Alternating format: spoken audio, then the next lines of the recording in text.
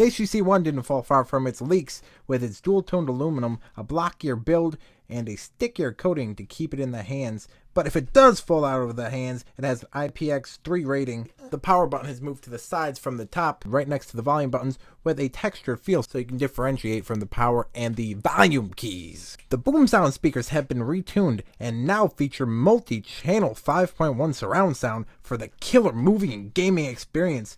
On the inside we have a Snapdragon 810 with 3 gigs of RAM and 32 gigs of memory, which is the only storage option offered, but that doesn't matter because we can expand up to 128 gigs via micro SD card to power this baby. 2840 milliamp hour battery. And replacing the dual cameras is an f2.2 20 megapixel camera capable of 4K video recording, slightly bulging from the case. What you got to say about that, Bieber? The camera is protected by sapphire glass, so scratches should not be an issue. The hyperpixels have moved to the front for a wider, brighter brighter selfie in those dark environments. And a 5 inch 1080p screen, it is running the latest version of HTC Sense 7 with a few features like Smart Launcher, app suggestions, and the daily newsletter. Thank you guys for watching. Subscribe to Ladies and Tech, and I will see you later.